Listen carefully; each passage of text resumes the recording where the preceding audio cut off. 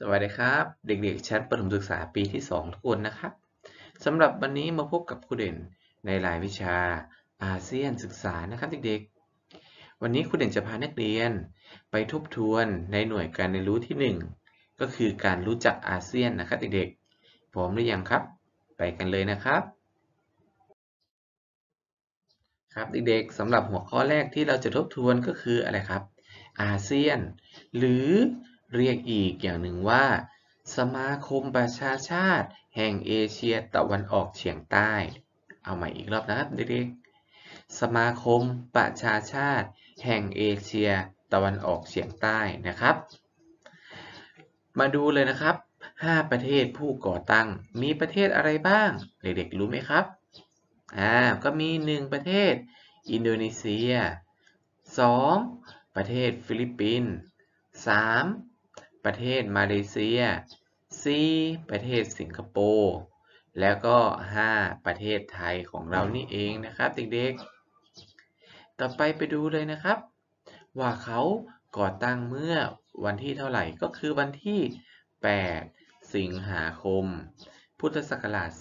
2510 นะครับเด็กๆ ต่อไปเลยนะครับ นี่ก็จะเป็นสัญลักษณ์นะครับเด็กๆ สัญลักษณ์ของอาเซียนของพวกเรานะครับเด็กๆ ก็คืออะไรครับ มีรวงข้าว 10 ต้นมัดรวมกัน แล้วก็มีคำว่าอาเซียน แล้วก็มีวงกลมล้อมรอบ 2 วงก็คือสี น้ำเงินและสีขาวนั่นเองนะครับเด็กๆ ก็มีความหมายด้วยนะครับ วันนี้ครูเด่นก็จะพามาทบทวนเหมือนกันนะครับเด็กๆไปดูกันเลยนะครับ ว่าประเทศที่ 6 ที่เข้ามาร่วม ในอะไรครับ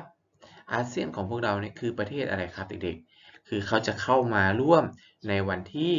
8 มกราคม พุทธศักราช 2527 นะครับเด็กๆ ก็คือประเทศบูไนดารุสลามนั่นเองนะครับ ต่อไปประเทศที่ 7 นะครับเด็กๆ ก็คือประเทศอะไรครับเด็กๆ อ่า ยังไม่บอกนะครับ ก็คือเขาจะเข้ามาใน วันที่อะไรครับ 28 กรกฎาคม พุทธศักราช 2538 นะครับเด็กๆ เด็กๆว่าประเทศอะไรครับ เก่งมากครับเด็กๆ ก็คือประเทศเวียดนามได้เข้าเป็นสมาชิกนะครับ ต่อไปคืออะไรครับ ในวันที่ 23 กรกฎาคม พุทธศักราช 2540 นะครับเด็กๆ ก็จะเป็นประเทศอะไรครับ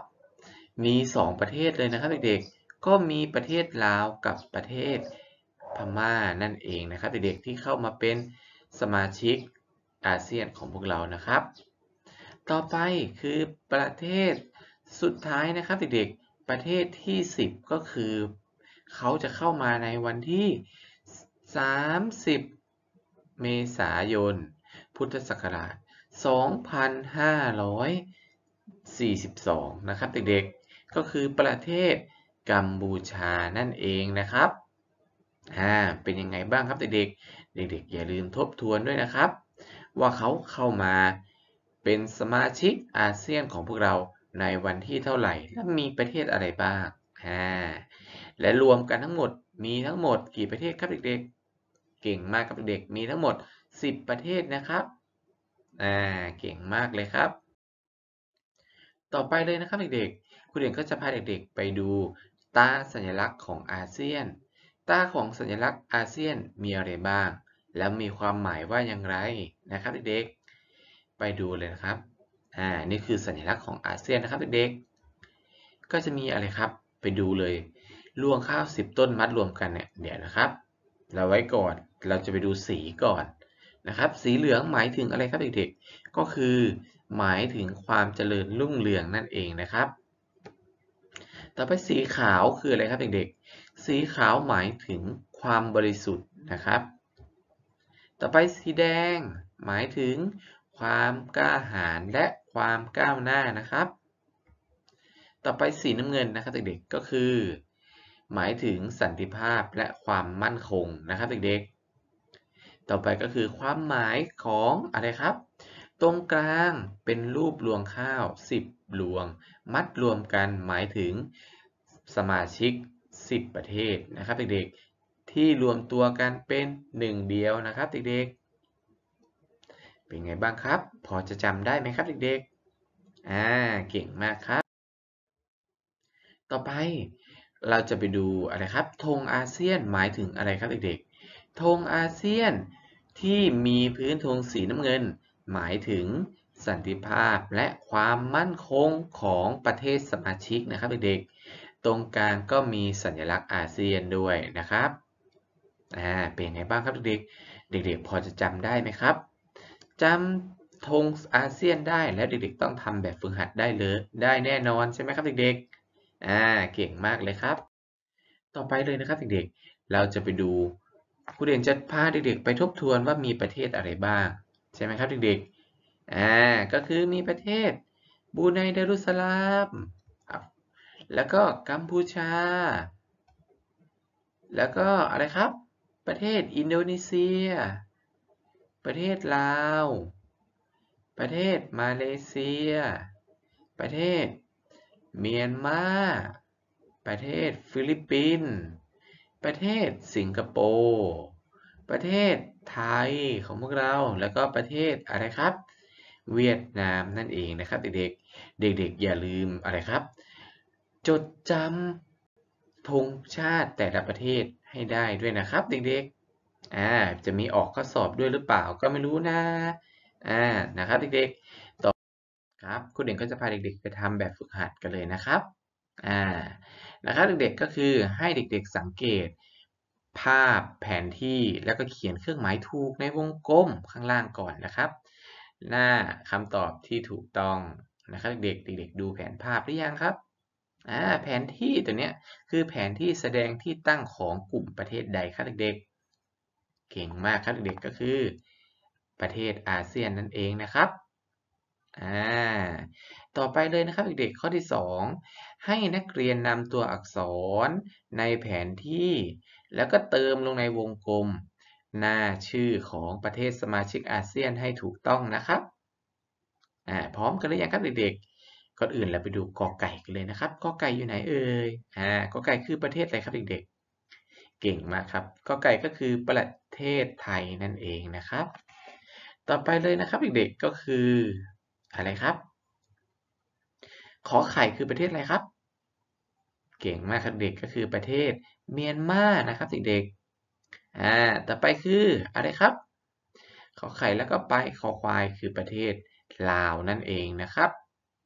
อ่าต่อไปไปงองู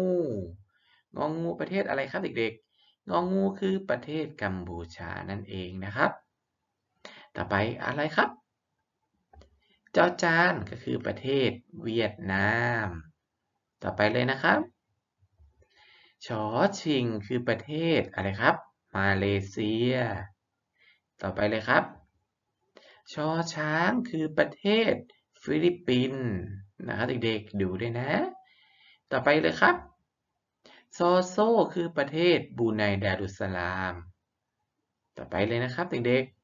ๆ ต่อไปคือชอกะเชออยู่ในเป็นประเทศอะไรครับ ประเทศอินโดนีเซียนะครับ และประเทศสุดท้ายคือ ยอผู้หญิงนะครับ คือประเทศสิงคโปร์นั่นเองนะครับเด็กๆ เป็นไงบ้างครับ เด็กๆทำถูกไหมครับเด็กๆอ่าถ้าใครทำผิดแก้ไขให้ถูกต้องเลยนะครับอ่าต่อไปก็คือหน้าที่ 14 นะครับเด็กๆเขาให้เด็กๆ ระบายสีสัญลักษณ์อาเซียนธงอาเซียนและความหมายของสีให้ถูกต้องนะครับเด็กๆอ่าอันนี้ครูเด่นก็ ไม่ได้ระบายมาให้เด็กๆดูนะครับ แต่อะไรครับความหมายของอาเซียนเนี่ยครูเด่นก็มีตัวอย่างมาให้ดู ก็สีแดงเห็นไหมลูกหมายถึงความกล้าหาญและอะไรครับ ความก้าวหน้าใช่ไหมครับเด็กๆต่อไปคือสีเหลืองหมายถึงความเจริญรุ่งเรือง สีขาวคือความบริสุทธิ์ใช่ไหมสีน้ำเงินหมายถึงสันติภาพและความมั่นคงนะครับ อ่าเก่งมากครับเด็กๆ อย่าลืมทำให้ถูกด้วยนะครับ ระบายสีให้สวยงามด้วยนะครับ ต่อไปเลยนะครับเด็กๆเขาให้นักเรียนเปรียบเทียบความเหมือนและความแตกต่าง ระหว่างธงชาติไทยกับธงอาเซียนนะครับเด็กๆ โดยนำอักษรหน้าข้อความที่กำหนดให้ เติมในแผนภาพให้ถูกต้องนะครับ อ่าคืออะไรครับเด็กๆ นี่ก็คืออะไรครับไปดูข้อที่กอไก่เลยกอไก่มาก่อนเหมือนเดิม มีอะไรครับถาสามสีห้าแถบ คือธงอะไรครับเด็กๆ เก่งมากเด็กๆก็ธงชาติไทยของเรานั่นเองใช่ไหมครับ ต่อไปขอไข่มีสีสีอ่าของของธงชาติไทยของเราเนี่ยมีอยู่สามสีดังนั้นก็ต้องเป็นธงอาเซียนอ่าเห็นไหมครับเด็กๆ ต่อไปข้อที่ข้อคอควายนะครับเด็กๆสีแดง สีแดงเหมือนกันไหมครับ เหมือนกันเก่งมากนะครับ ตอบเหมือนกันนะครับ สิ่งที่เหมือนกัน ต่อไปข้ององูรวงข้าวสีเหลือง ก็เป็นของธงอาเซียนเห็นไหมครับ ต่อไปสีขาวสีขาวธงชาติไทยของเรามีไหมครับอ่ามี สีเหลืองมีไหมครับ มีเห็นไหมครับเด็กๆ ก็ตอบว่าสิ่งที่เหมือนกันเห็นไหมครับอ่า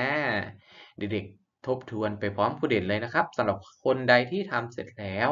ก็ลงมือทบทวนไปพร้อมกันเลยนะครับเด็กๆต่อไปคือข้อที่4นะครับให้นักเรียนเขียนเครื่องหมายถูกลงในวงกลม หน้าคำตอบที่ถูกต้อง และเขียนเครื่องหมายผิดในวงกลม หน้าคำตอบที่ไม่ถูกต้องอไปดูข้อที่ 1 เลยนะครับ วันที่ 8 สิงหาคมของทุกปีเป็นวันอาเซียน ใช่ไหมครับอ่าใช่ครับเด็กๆเก่งมากครับ ต่อไปข้อที่ 2 อาเซียนมีชื่อทางการว่า สมาคมประชาชาติแห่งเอเชียตะวันออกเฉียงใต้ถูกไหมครับเด็กๆ เก่งมากครับเด็กๆถูกนะครับ ต่อไปข้อที่ 3 เลยนะครับ ในการประชุมอาเซียน ใช้ภาษาประจำชาติ ของประเทศเจ้าภาพ เป็นภาษาทางการ ใช่ไหมครับเด็กๆอ่าไม่ใช่นะครับเด็กๆเพราะว่าจะใช้ภาษาอังกฤษเป็นภาษาทางการนะครับอ่าต่อไปข้อที่ 4 เลยนะครับ การทำให้ประชาชน ในภูมิภาค เอเชียตะวันออกเฉียงใต้ มีชีวิตความเป็นอยู่ที่ดีขึ้น เป็นวัตถุประสงค์ในการก่อตั้งอาเซียน ใช่ไหมครับเด็กๆ ใช่หรือไม่ครับ เก่งมากครับ ถูกต้องเลยนะครับอ่าต่อไปข้อ 5 นะครับ ข้อที่ 5 ต้นข้าวสีเขียว 10 ต้น เป็นตาสัญลักษณ์ อาเซียนใช่หรือไม่ครับอ่าไม่ถูกนะครับ พราะว่าต้นข้าว 10 ต้นเนี่ยต้องเป็นสีสีเหลืองนะครับเด็กๆ อ่า ต่อไปเลยนะครับ หน้าที่ 17 จะให้เด็กๆอะไรครับ คัดลายมือ แล้วก็อ่านเนื้อเพลงอาเซียนนะครับเด็กๆ เขียนตามรอยปะให้สวยงามด้วยนะครับ ตั้งใจเขียนนะลูกใจเย็นๆ ไม่ต้องรีบร้อนนะครับเด็กๆ ต่อไปไปดูอะไรครับ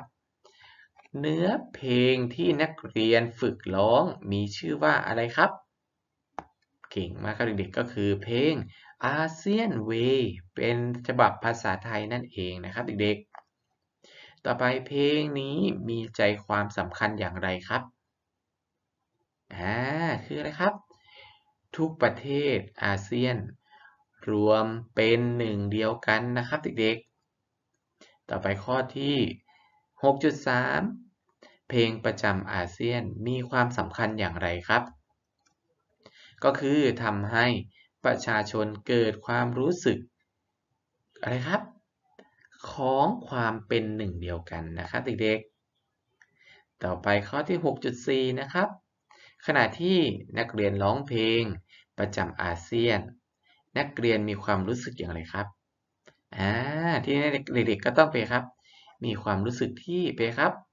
รู้สึกภูมิใจ รู้สึกภาคภูมิใจแล้วก็สนุกสนานใช่ไหมครับอ่าต่อไปเลยนะครับ เพลงประจำอาเซียน ส่งเสริมคุณธรรม จริยธรรม และคุณลักษณะอันพึงประสงค์ในข้อใดครับเด็กๆ ก็คือ อะไรครับ เป็นความสามัคคีใช่ไหมครับเด็กๆอ่าเก่งมากเลยครับอ่าความรู้รักสามัคคีนะครับ อ่าครับสำหรับคลิปนี้ครูเด่นขอจบคลิปไปเพียงแค่นี้นะครับ เอาไว้เจอกันในคลิปต่อไปนะครับเด็กๆสำหรับวันนี้สวัสดีครับ บ๊ายบาย